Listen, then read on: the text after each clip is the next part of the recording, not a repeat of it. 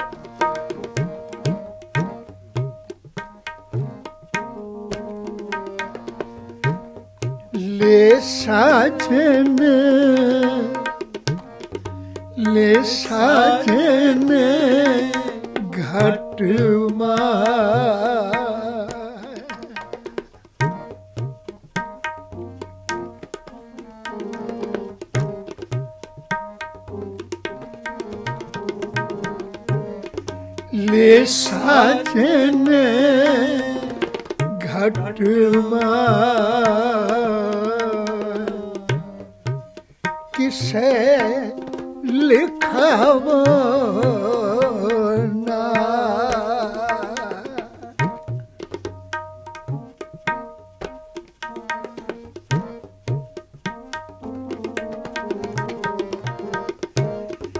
ले साजने ਟੁਬਾ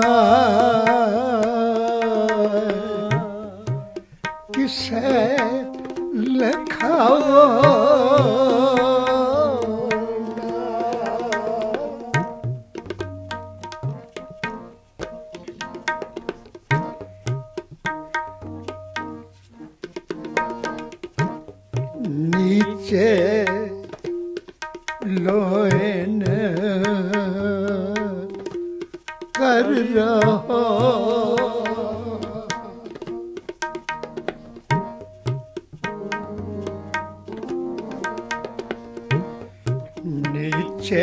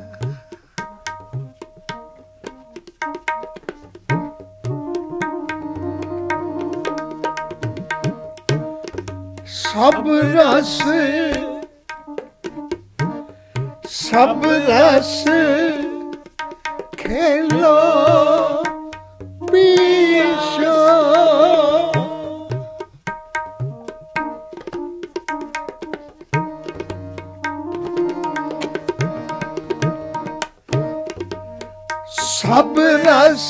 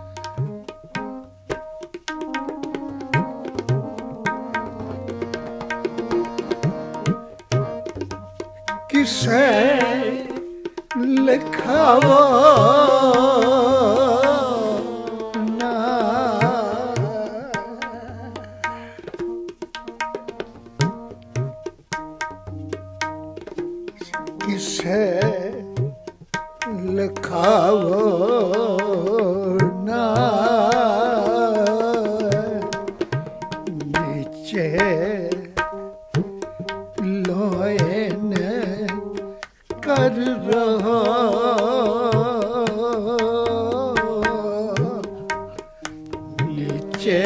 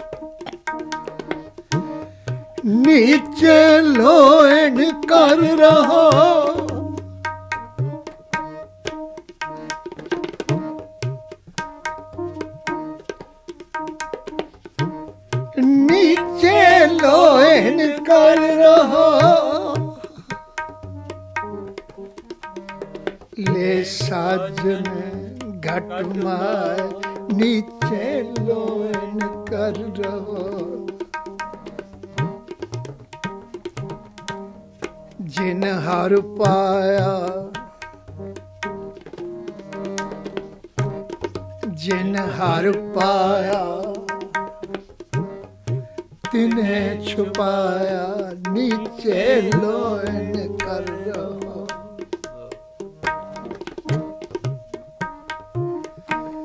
ਲੈ ਸਾਜਨ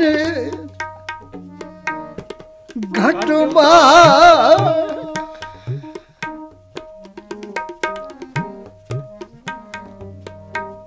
ਜੰਗਲ ਜੰਗਲ ਕਿਉ ਹੋਵੇ?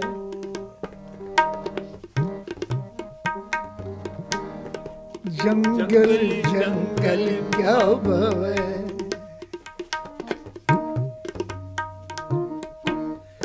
ਵਨ ਕੁੰਡਾ ਮੋੜੇ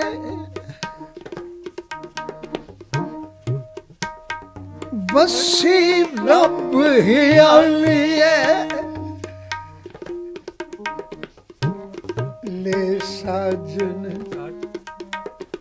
ਘਟ ਮਾਏ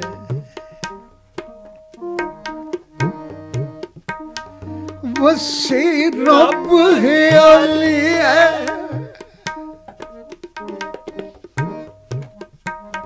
ਨਾਨਕ ਅੰਤਰ ਤੇਰੇ ਨਿਦਾਨ ਹੈ। ਨਾਨਕ ਅੰਤਰ ਤੇਰੇ ਨਿਧਾਨ ਹੈ। ਤੂੰ ਬਾਹਰ ਵਸਤ ਨਾ ਵਾਲ, ਲੈ ਸਜਨ ਘਟ ਮਾਏ। ਤੂੰ ਬਾਹਰ ਵਸਤ ਨਾ ਵਾਲ। ਸਭ ਕੁਛ ਘਰ ਵਿੱਚ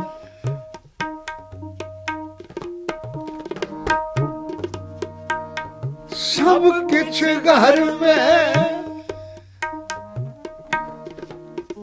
बाहर नाही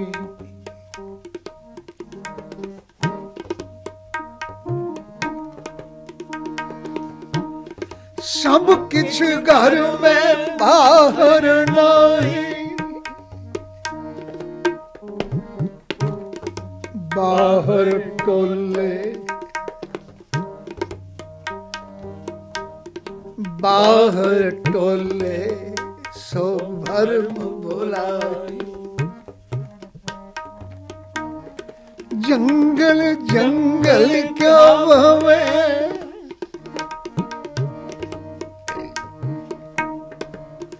ਵਨ ਕੰਡਾ ਮੋੜੇ ਬਸੀ ਰੱਬ ਖਿਆਲੀਏ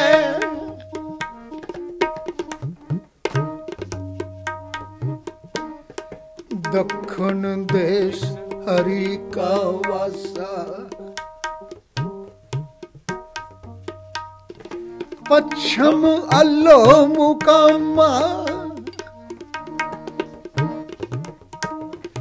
दिल में खोज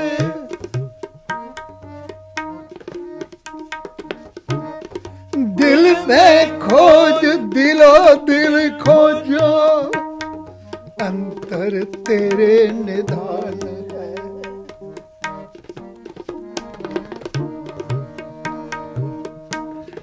ਦਿਲ ਮੈਂ ਖੋਜ ਦਿਲੋ ਦਿਲ ਖੋਜੋ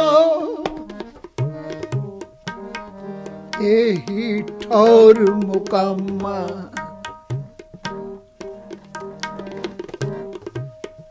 ਅੰਤਰ ਵਸਤ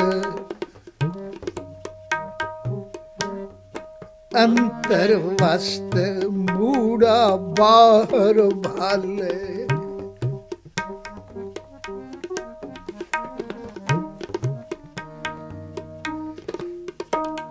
ਨੀਚੇ ਲੋਇਨ ਕਰ ਰਹਾ।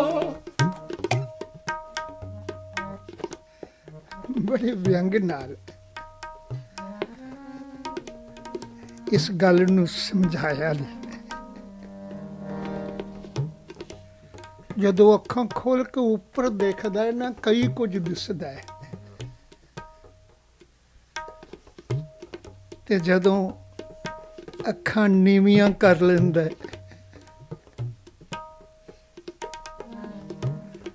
ਉਦੋਂ ਕੁਝ ਨਹੀਂ ਦਿਸਦਾ। ਕਹਿੰਦਾ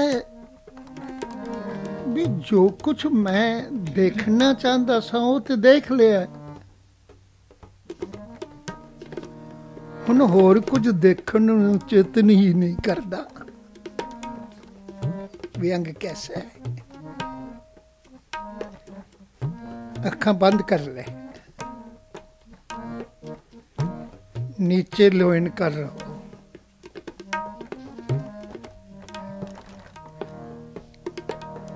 ले ਸਾਜਨ ਘਟ ਮਾਏ। ਹੁਣ ਇੱਥੇ ਸਵਾਲ ਖੜਾ ਹੋ ਜਾਣਾ ਹੈ। ਰੱਬ ਤੇਰੇ ਅੰਦਰ ਹੈ। ਸੱਜਣ ਤੇਰੇ ਅੰਦਰ ਵਸਦਾ ਹੈ। ਤੂੰ ਹੁਣ ਅੱਖਾਂ ਖੋਲ ਕੇ ਚੁਫੇਰੇ ਕੀ ਦੇਖਣਾ, ਕੀ ਲੱਭਣਾ ਹੈ?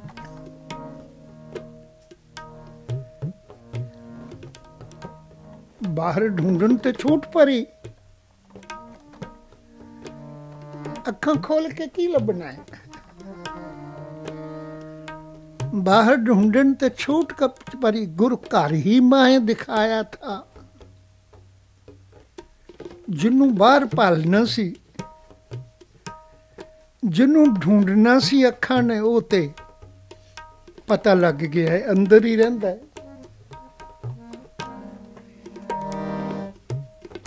ਪਰ ਹੁਣ ਵੀ ਕੁਝ ਫ਼ਰਕ ਹੈ ਜਿਹੜਾ ਸਮਝਣਾ ਬਾਣੀ ਵਿੱਚੋਂ। ਬੜਾ ਡੀਪਲੀ ਖਿਆਲ ਦਿੱਤਾ ਨੇ ਅੱਜ ਦੇ ਇਸ ਸ਼ਲੋਕ ਵਿੱਚ। ਕਹਿੰਦੇ ਨੇ, ਅੱਖਾਂ ਬੰਦ ਕਰ ਲੈ, ਨੀਵੀਆਂ ਕਰ ਲੈ। ਇਸ ਲਈ ਨਹੀਂ ਕਿ ਤੂੰ ਕੁਝ ਹੋਰ ਦੇਖੇ ਨਾ, ਇਸ ਲਈ ਕਿ ਤੈਨੂੰ ਅੱਖਾਂ ਖੋਲ ਕੇ ਦੇਖਦੇ ਨੂੰ, ਚੁਫੇਰੇ ਦੇਖਦੇ ਨੂੰ ਲੋਕ ਇਹ ਨਾ ਸਮਝ ਲੈਣ, ਇਹ ਰੱਬ ਨੂੰ ਢੂੰਡ ਰਿਹਾ ਹੈ। ਸੱਜਣ ਦੀ ਭਾਲ ਵਿੱਚ ਹੈ। ਉਹਨਾਂ ਨੂੰ ਪਤਾ ਲੱਗ ਜਾਏ ਹੁਣ ਇਹਨੂੰ ਕੁਝ ਵੀ ਪਾਲਣ ਦੀ ਲੋੜ ਨਹੀਂ। ਤਿੜਤਾ ਸੰਤੋਖ। ਜਦੋਂ ਅੱਖਾਂ ਵਿੱਚ ਸੰਤੋਖ ਆ ਜਾਂਦਾ ਨੈਣ ਸੰਤੋਖੇ ਗੁਰੂ ਸਾਹਿਬ ਨੇ ਬਾਣੀ ਵਿੱਚ ਆਖਿਆ ਹੁਣ ਅੱਖਾਂ ਨੂੰ ਵੀ ਸੰਤੋਖ ਆ ਗਿਆ।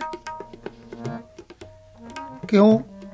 ਨੈਣ ਸੰਤੋਖੇ ਪ੍ਰਭ ਦਰਸ਼ਨ ਪਾਇਆ। ਜਿਹੜੀ ਚੀਜ਼ ਨੂੰ ਦੇਖਣ ਲਈ ਅੱਖਾਂ ਤਰਸਦੀਆਂ ਸਨ, ਨੈਣ ਤਰਸਨ ਦਰਸ ਪਰਸਨ ਨੇ ਨੀਂਦ ਰਹਿਣ ਬਿਹਾਨੀਆਂ ਅੱਖਾਂ ਜਿਸ ਚੀਜ਼ ਨੂੰ ਦੇਖਣ ਨੂੰ ਤਰਸਦੀਆਂ ਸਨ। ਹੁਣ ਉਹ ਵਸਤੂ ਦਾ ਪਤਾ ਲੱਗ ਗਿਆ ਹੈ, ਅੰਦਰ ਹੈ। ਮੈਂ ਬਾਹਰ ਕਿਉਂ ਭਾਲਾਂ? ਅੱਖਾਂ ਹੁਣ ਪਹਿਲੇ ਦੀ ਤਰ੍ਹਾਂ ਬੇਤਾਬ ਕਿਉਂ ਹੋਣ? ਕਹਿੰਦੇ ਨੀਚੇ ਲੋਇਨ ਕਰ ਰਹੋ। ਥੱਲੇ ਕਰ ਲੈ। ਪਰ ਇਹ ਕਾਰਨ ਸਮਝ ਲੈ ਕਿ ਸਾਜ ਲੈ ਸਾਜਨ ਘਟ ਮਾਏ। ਪ੍ਰੀਤਮ ਨੂੰ ਆਪਣੇ ਅੰਦਰ ਸਮਝ ਲੈ। ਤਾਂ ਹੀ ਅੱਖਾਂ ਨੀਵੀਆਂ ਕਰ। ਤਾਂ ਹੀ ਦੇਖਣਾ, ਭਾਲਣਾ, ਢੂੰਡ ਕਰਨਾ ਛੱਡ। ਪਹਿਲਾਂ ਇੱਕ ਵਿਸ਼ਵਾਸ ਕਰਕੇ ਮੇਰਾ ਪ੍ਰੀਤਮ ਮੇਰੇ ਅੰਦਰ ਵਸਦਾ ਹੈ। ਲੈ ਸਾਜਨ ਘਟ ਮਾਏ। ਜਿੰਨੇ ਸੁਖ ਨੇ, ਜਿੰਨੀ ਐਸ਼ ਹੈ, ਜਿੰਨੀ ਚਾਹਤ ਹੈ ਤੇਰੀ, ਉਹ ਸਾਰੀ ਆਪਣੇ ਪ੍ਰੀਤਮ ਨਾਲ ਜੋੜ ਦੇ ਹੋਰ ਵੱਖਰੀ ਕੋਈ ਚਾਹਤ ਨਾ ਰੱਖ ਆਸ ਪਿਆਸੀ। ਮੈਂ ਫਿਰੋਂ ਕਬ ਪੇਖੋਂ ਗੋਪਾਲ ਇੱਕੋ ਹੀ ਆਸ ਸੀ, ਉਹ ਮਿਲ ਗਈ। ਹੁਣ ਅਜੇ ਕੋਈ ਆਸ ਬਾਕੀ ਹੈ ਕਹਿਣ ਲੱਗੇ, ਇੱਕ ਖਿਆਲ ਕਰੀ। ਸਭ ਰਸ ਖੇਲੋਂ ਪੀਸੋ ਮੇਰੇ ਜਿੰਨੀਆਂ ਚਾਹਤਾਂ ਰਸ, ਮੇਰੇ ਸਵਾਦ, ਮੇਰੇ, ਮੇਰੀਆਂ ਚਾਹਤਾਂ ਸਨ, ਸਾਰੀਆਂ ਆਪਣੇ ਪ੍ਰੀਤਮ ਨਾਲ ਸਨ, ਉਹ ਮੈਨੂੰ ਅੰਦਰ ਮਿਲ ਗਿਆ।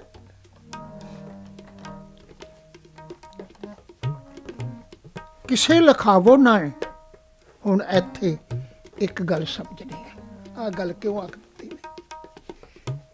ਕਹਿੰਦੇ ਜਿਨ੍ਹਾਂ ਨੂੰ ਪ੍ਰੀਤਮ ਦਾ ਵਿਸ਼ਵਾਸ ਹੋ ਜਾਏ ਕਿ ਅੰਦਰ ਹੈ ਉਹ ਅੰਦਰ ਦੇਖਣ ਲੱਗ ਪੈਣ ਜਿਸ ਨੂੰ ਆਪਾਂ ਆਖਣੇ ਆ ਅੰਤਰਮੁਖੀ ਹੋ ਜਾਣਾ ਬਾਹਰ ਦੀ ਢੂੰਡ ਖਤਮ ਹੋ ਗਈ ਪਰ ਇੱਕ ਪ੍ਰੋਬਲਮ ਅੰਦਰ ਵੀ ਬਣ ਗਈ ਅੰਤਰਮੁਖੀ ਤਾਂ ਹੋ ਗਿਆ ਬਾਹਰ ਦੀ ਢੂੰਡ ਖਤਮ ਕਰ ਦਿੱਤੀ ਅੱਖਾਂ ਨੇ ਹੁਣ ਬਾਹਰ ਰੱਬ ਨਹੀਂ ਢੂੰਡਿਆ ਪਰ ਅੰਦਰ ਹਨੇਰਾ ਹੈ ਜਿੰਨਾ ਚਿਰ ਗਿਆਨ ਨਾ ਹੋਵੇ, ਮਨੁੱਖ ਬਾਹਰ ਮੁਖੀ ਨਾ ਵੀ ਰਵੇ, ਅੰਤਰਮੁਖੀ ਹੋ ਜਾਏ, ਉਹਨੂੰ ਪਤਾ ਹੋ ਜਾਏ, ਰੱਬ ਮੇਰੇ ਅੰਦਰ। ਅੱਜ ਦੇ ਸੰਸਾਰ ਦੇ ਇੱਕ ਖਿਆਲ ਮੁਤਾਬਕ ਦੁਨੀਆ ਦਾ ਹਰ ਮਨੁੱਖ ਧਾਰਮਿਕ ਖੇਤਰ ਵਿੱਚ ਰਹਿਣ ਵਾਲਾ, ਜਦੋਂ ਕੋਈ ਗੱਲ ਕਹਿੰਦਾ, ਰੱਬ ਤਾਂ ਮੇਰੇ ਅੰਦਰ ਹੈ। ਇੰਨੀ ਕੁ ਗੱਲ ਹਰ ਕੋਈ ਜਾਣ ਗਿਆ ਰੱਬ ਅੰਦਰ ਹੈ। ਪਰ ਜੇ ਅੰਦਰ ਹੈ ਤੇ ਤੂੰ ਦੇਖਿਆ ਜਦ ਸਾਰਿਆਂ ਨੂੰ ਇੰਨਾ ਕੁ ਪਤਾ ਲੱਗ ਗਿਆ ਵੀ ਰੱਬ ਅੰਦਰ ਹੈ, ਫਿਰ ਹੁਣ ਉਹਨਾਂ ਸਾਰਿਆਂ ਤੇ ਸਵਾਲ ਕਰੋ, ਭਲਾ ਕਿੰਨੇ ਕੁ ਸਾਨੂੰ ਜਵਾਬ ਮਿਲਦੇ ਨੇ ਕਿ ਮੈਂ ਦੇਖਿਆ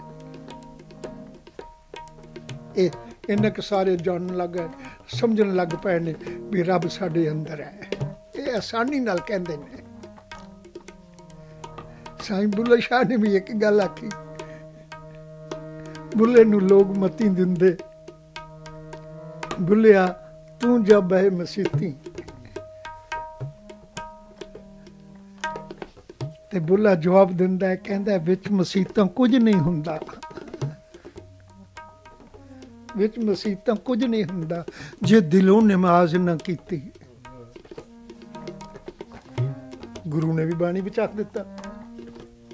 ਕਹਿਣ ਲੱਗੇ, ਕਿਆ ਉਜੂ ਸਾਜ ਕੀਆ ਮੂੰਹ ਧੋਇਆ? ਉਜੂ ਸਾਜਨਾ ਮੂੰਹ ਧੋਣਾ, ਹੱਥ ਪੈਰ ਧੋਣੇ, ਸੁੱਚਾ ਹੋਣਾ। ਕਿਆ ਉਜੂ ਸਾਜ ਕੀਆ ਮੂੰਹ ਧੋਇਆ, ਕਿਆ ਮਸੀਤ ਸਿਰ ਲਾਇਆ। ਉਸ ਤੋਂ ਬਾਅਦ ਮਸੀਤ ਤੇ ਜਾਣਾ। ਉੱਥੇ ਬੈਠ ਕੇ ਨਮਾਜ਼ ਪੜ੍ਹਨੀ। ਕਹਿਣ ਲੱਗੇ, ਕਿਆ ਉਜੂ ਸਾਜ ਕੀਆ ਮੂੰਹ ਧੋਇਆ क्या मसीत सिर नाया लाया जो दिल में कपट नमाज गुजारे क्या हज का भेजाया ਗੁਰਬਾਣੀ ਅੰਦਰ ਤਾਂ ਸਾਫ਼ ਨਹੀਂ ਕੀਤਾ ਹਨੇਰਾ ਹੋਣ ਕਰਕੇ ਆਵਾਜਾਈ ਖਤਮ ਹੋ ਗਈ ਜਿੱਥੇ ਹਨੇਰਾ ਹੋਵੇ ਉੱਥੇ ਕੌਣ ਜਾਂਦਾ ਹੈ ਤੇ ਜਿੱਥੇ ਕੋਈ ਕਦੀ ਨਾ ਆਹਟ ਹੋਵੇ ਕਦੀ ਕੋਈ ਪ੍ਰਵੇਸ਼ ਨਾ ਕਰੇ ਉੱਥੇ ਮੈਲ ਵੀ ਲੱਗ ਜਾਂਦੀ ਹੈ ਧੂੜ ਪੈ ਜਾਂਦੀ ਹੈ ਇਹ ਆਪਣੇ ਆਮ ਜੀਵਨ ਵਿੱਚ ਦੇਖ ਲਓ, ਜਿੰਨੇ ਮਰਜ਼ੀ ਟਾਈਟ ਦਰਵਾਜ਼ੇ ਬਾਰੀਆਂ ਬੰਦ ਕਰ ਲਓ 10 ਦਿਨ ਤੁਸੀਂ ਬਾਹਰ ਲਾ ਕੇ ਜਦੋਂ ਵਾਪਸ ਆਓਗੇ, ਧੂੜ ਟੇਬਲ ਤੇ ਤੁਹਾਨੂੰ ਦਿਸ ਪਾਏਗੀ। ਪੈ ਜਾਂਦੀ ਕਿਉਂਕਿ ਆਹਟ ਕੋਈ ਨਹੀਂ ਵਸਨੀਕ ਕੋਈ ਨਹੀਂ। ਹੁਣ ਕਹਿੰਦੇ ਨੇ ਜਦੋਂ ਇਹ ਵੇਖਿਆ ਕਿ ਰੱਬ ਅੰਦਰ ਆਇਆ, ਬਾਹਰ ਦਾ ਦਰਵਾਜ਼ੇ ਤਾਂ ਬੰਦ ਕਰ ਲੈ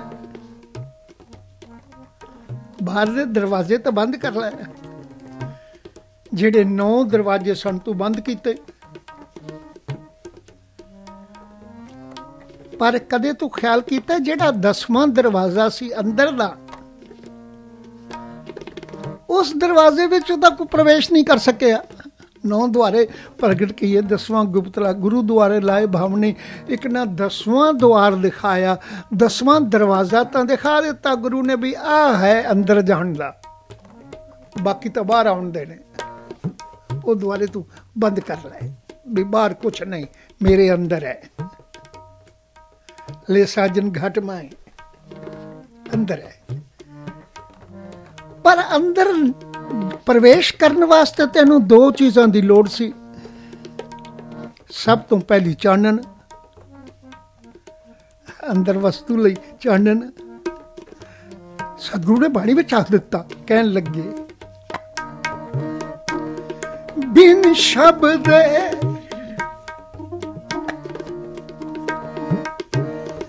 ਬਿਨ ਸ਼ਬਦ ਅੰਤਰ ਅਨੇਰਾ। ਬਾਹਰ ਤੇ ਨਹੀਂ ਅੰਦਰ ਹਨੇਰਾ ਹੈ ਤੇ ਜਿੱਥੇ ਹਨੇਰਾ ਉੱਥੇ ਆਵਾਜਾਈ ਕੋਈ ਨਹੀਂ, ਜਿੱਥੇ ਆਵਾਜਾਈ ਕੋਈ ਨਹੀਂ, ਆਹਟ ਕੋਈ ਨਹੀਂ। ਜਿੱਥੇ ਪ੍ਰਵੇਸ਼ ਹੀ ਕਿਸੇ ਨਹੀਂ ਕਰਨਾ, ਉੱਥੇ ਮੈਲ ਵੀ ਲੱਗ ਜਾਣੀ ਹੈ ਨਤੀਜਾ ਨਿਕਲਿਆ। ਅੰਦਰ ਦਾ ਪਤਾ ਲੱਗ ਗਿਆ। ਪਰ ਉੱਥੇ ਮੈਲ ਹੈ ਉੱਥੇ ਅੰਧੇਰਾ ਹੈ ਉਸ ਮੈਲ ਨੂੰ ਕੌਣ ਧੋਵੇ? ਗੁਰੂ ਨੇ ਬਾਣੀ ਵਿੱਚ ਆਖਿਆ, ਕਹਿਣ ਲੱਗੇ, ਭਰੀਏ ਮਤ ਪਾਪਾਂ ਕੇ ਸੰਗ, ਉਹ ਧੋਪੇ ਨਵੇਂ ਕੇ ਰੰਗ। ਉੱਥੇ ਧੋਪਿਆ ਨਹੀਂ ਜਾ ਸਕਿਆ, ਉੱਥੇ ਅੰਧੇਰਾ ਚਾਨਣ ਵਿੱਚ ਨਹੀਂ ਬਦਲਿਆ ਜਾ ਸਕਿਆ। ਹੁਣ ਅੰਦਰ ਹਨੇਰਾ ਕਿਹੜੀ ਚੀਜ਼ ਦਾ ਹੈ? ਅੰਦਰ ਮੈਲ ਕਿਹੜੀ ਚੀਜ਼ ਦੀ ਹੈ? ਗੁਰੂ ਨੇ ਬਾਣੀ ਵਿੱਚ ਆਖਿਆ, ਹਉ ਮੈਲਾ।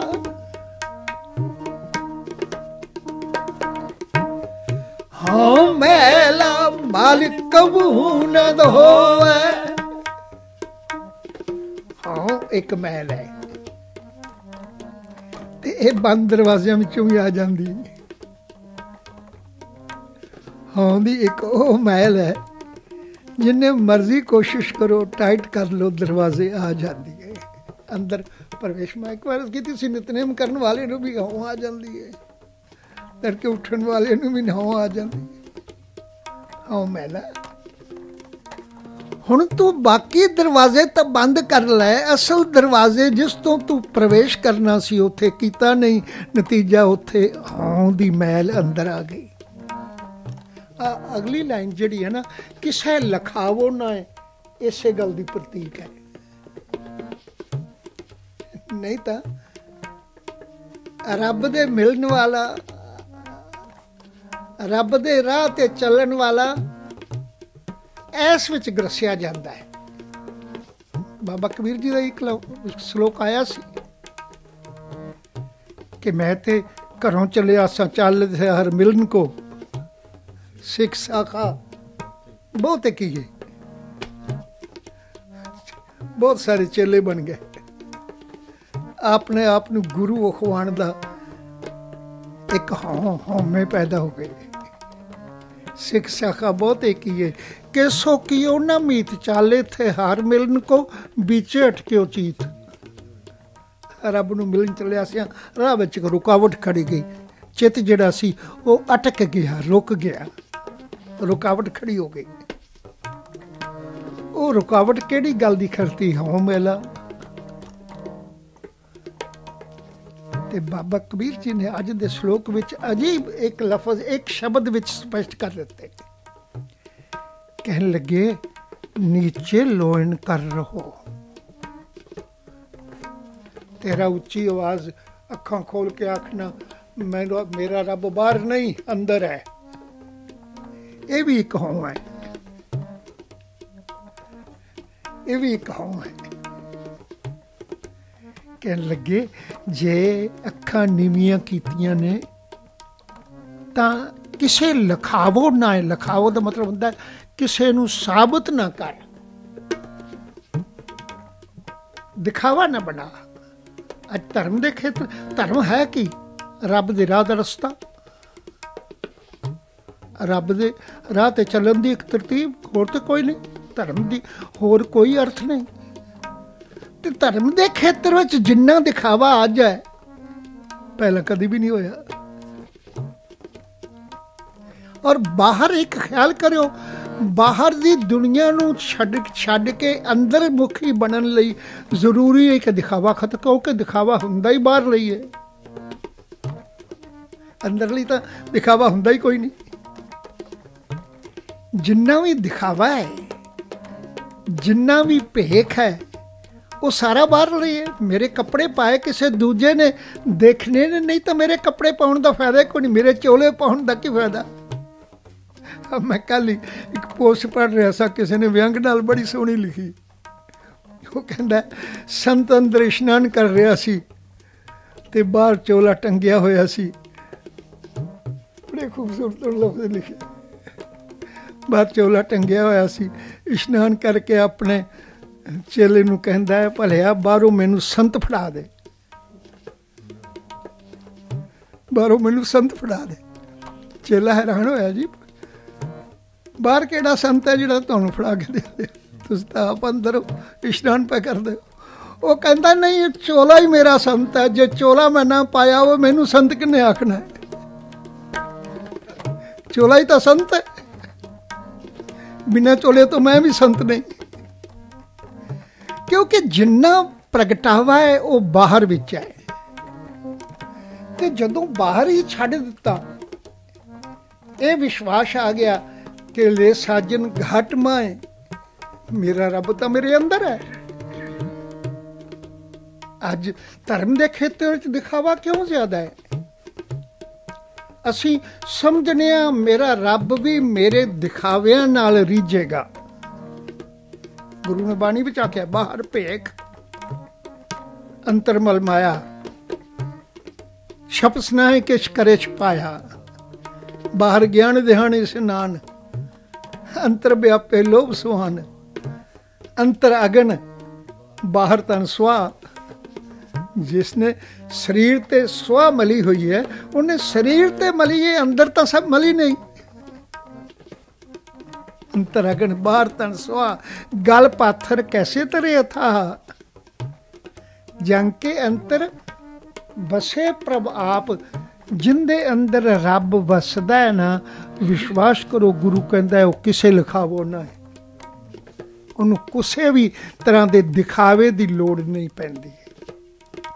ਔਰ ਇਸੇ ਲਈ ਇੱਕੋ ਲਫ਼ਜ਼ ਵਿੱਚ ਸਾਰੀ ਗੱਲ ਸਮੇਟ ਦਿੱਤੀ ਉਹਨੇ ਕਹਿਣ ਲੱਗੇ, ਨੀਚੇ ਲੋਨ ਕਰ ਰਹੋ। ਸਭ ਘਟ ਲੀਤੇ ਲੈ ਸਾਜਨ ਘਟ ਮਾਏ ਅੱਖਾਂ ਨੀਵੀਆਂ ਕੱਟ ਲੈ। ਹੁਣ ਤੈਨੂੰ ਕੁਝ ਵੀ ਹੋਰ ਦੇਖਣ ਦੀ, ਭਾਲਣ ਦੀ, ਢੂੰਡਣ ਦੀ ਲੋੜ ਨਹੀਂ। ਐਨਾ ਤੈਨੂੰ ਵਿਸ਼ਵਾਸ ਹੋਵੇ, ਲੈ ਸਾਜਨ ਘਟ ਮਾਏ ਨੀਚੇ ਲੋਇਨ ਕਰ ਰਵੋ ਲੈ ਸਾਗਜਨ ਘਟ ਮਾਏ ਫਿਰ ਅਗਲੀ ਲਾਈਨ ਵੀ ਕਹਿਣ ਲੱਗੇ, ਸਭ ਰਸ ਖੇਲੋ ਪਿਓ ਸੋ ਹੁਣ ਕਿਸੇ ਹੋਰ ਚੀਜ਼ ਦੀ ਚਾਹਤ ਤੇਰੇ ਮਨ ਅੰਦਰ ਖਤਮ ਹੋ ਜਾਏ। ਫਿਰ ਤੂੰ ਆਖ ਸਕੇ, ਜੋ ਸੁਖ ਦੇ ਤਾਂ ਤੁਝੇ ਆਰਾਧੀ। ਦੁੱਖ ਵੀ ਤੁਝੇ ਧਿਆਈ ਜੇ ਭੁੱਖ ਦੇ ਤਾਂ ਇਤਹੀ ਰਾਜਾ। ਦੁੱਖ ਵਿੱਚ ਸੁਖ ਮਨਾਈ। ਤਨ ਮਨ ਕਾਟ ਕਾਟ ਸਭ ਅਰਪੀ, ਵਿੱਚ ਅਗਨੀ ਆਪ ਜਲਾਈ, ਪੱਖਾ ਫੇਰੋਂ ਪਾਣੀ ਢੋਵਾਂ ਜੋ ਦੇ ਸੁਖਾਈ ਸਭ ਰਸ ਖੇਲੋ ਪੀਸੋ ਉਹਦੇ ਨਾਲ ਮੇਰੀਆਂ ਜ਼ਿੰਦਗੀ ਦੀਆਂ, ਜੀਵਨ ਦੀਆਂ ਸਾਰੀਆਂ ਖੁਸ਼ੀਆਂ ਸਿਮਟ ਜਾਣ। ਪਰ ਐਨਾ ਕੁਝ ਹੋਣ ਦੇ ਬਾਵਜੂਦ ਵੀ ਤੇਰੇ ਮਨ ਵਿੱਚ ਇਹ ਖਿਆਲ ਨਾ ਆਵੇ ਕਿ ਮੈਂ ਆਪਾ ਪ੍ਰਗਟਾਉਣਾ ਹੈ ਮੇਰੇ ਅੰਦਰ ਰੱਬ ਹੈ, ਮੈਂ ਬਾਹਰ ਨਹੀਂ ਢੂੰਡਦਾ। ਮੈਂ ਬਾਹਰ ਨਹੀਂ ਢੂੰਡਦਾ, ਮੇਰੇ ਅੰਦਰ ਵਸਦਾ ਹੈ। ਗੁਰੂ ਕਹਿੰਦੇ ਨੇ, ਕਿਸੇ ਲਖਾਵੋ ਨਾ ਕਿਸੇ ਨੂੰ ਦਿਖਾਵਾ ਨਾ ਕਰ, ਪ੍ਰਗਟਾਵਾ ਨਾ ਕਰ, ਆਪਣੇ ਆਪ ਵਿੱਚ ਖਾਮੋਸ਼ ਹੋ ਜਾ। ਕਹਿੰਦੇ ਨੇ, ਜਿੰਨੂੰ ਰੱਬ ਮਿਲਿਆ, ਇਸੇ ਲਈ ਕਹਿ ਦਿੱਤਾ, ਜਿਨ ਹਰ ਪਾਇਆ, ਤਿਨੇ ਛਪਾਇਆ। ਉਹਨੇ ਆਪਣੇ ਆਪ ਦਾ ਦਿਖਾਵਾ ਨਹੀਂ ਕੀਤਾ। ਉਹਨੇ ਆਪਣੇ ਸਿੰਘਾਸਨ ਨਹੀਂ ਬਣਾਏ। ਉਹਨੇ ਆਪਣੇ ਭੇਖ ਨਹੀਂ ਬਣਾਏ। ਉਹਨੇ ਆਖਿਆ, ਭੇਖ ਤਾਂ ਬਾਹਰ ਦਾ ਹੁੰਦਾ, ਰੱਬ ਮੇਰੇ ਅੰਦਰ ਹੈ।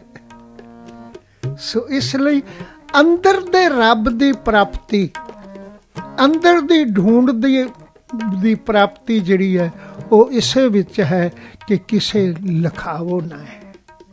ਤੇਰਾ ਮਨ ਜਿਹੜਾ ਹੈ ਉਹ ਕਿਸੇ ਪ੍ਰਗਟਾਵੇ ਵਿੱਚ, ਕਿਸੇ ਦਿਖਾਵੇ ਵਿੱਚ, ਕਿਸੇ ਭੇਖ ਵਿੱਚ ਨਾ ਪਵੇ। ਬਾਬਾ ਕਬੀਰ ਜੀ ਨੇ ਦੋ ਲਾਈਨਾਂ ਵਿੱਚ ਇਹ ਸ਼ਬਦ ਆਖਿਆ ਤੇ ਕਹਿਣ ਲੱਗੀ, ਨੀਚੇ ਲੋਇਨ ਕਰ ਰਹਾ।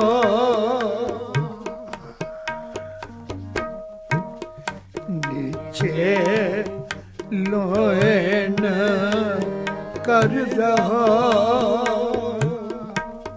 ਲੈ ਸਾਜਨ ਘਟ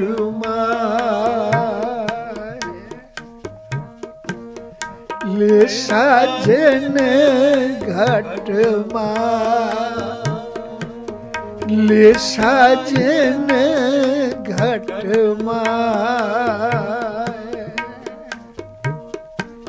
ਸਭ ਰਸ खेलो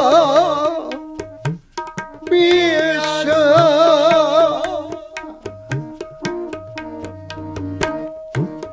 सब रस खेलो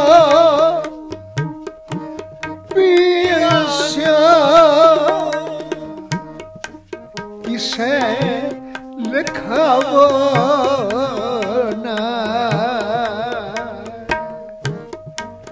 किसे ਲਿਖਾਵਾ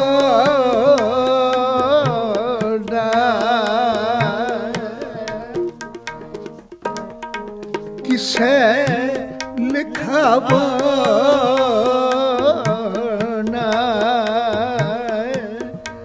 ਕਿਸੇ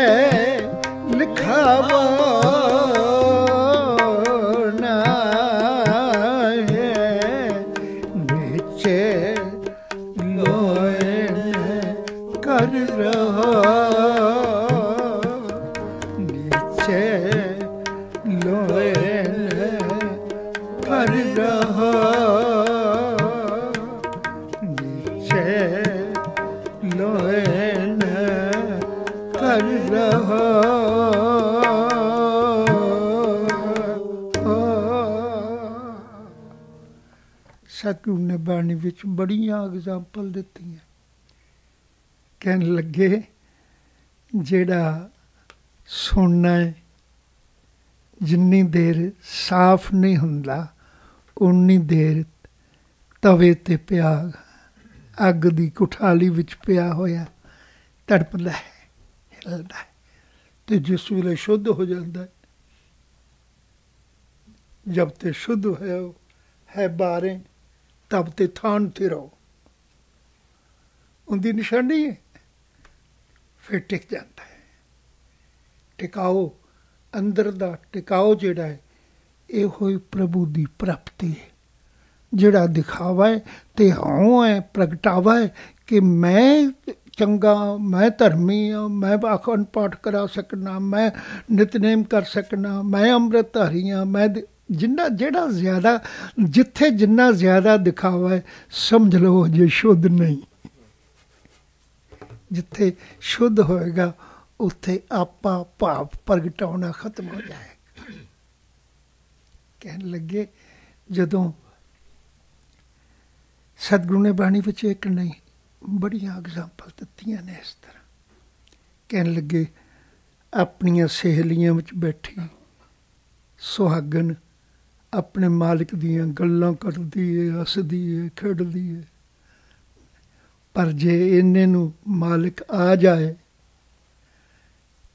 ਫਿਰ ਕਪੜਾ ਉੱਡ ਲੈਂਦੀ, ਖਾਮੋਸ਼ ਹੋ ਜਾਂਦੀ ਹੈ ਜਦੋਂ ਪ੍ਰੀਤਮ ਦਾ ਮਿਲਾਪ ਹੋਣਾ ਹੈ ਉਦੋਂ ਖਾਮੋਸ਼ੀ ਹੋਣੀ ਹੈ ਦਿਖਾਵਾ ਨਹੀਂ ਹੋਣਾ।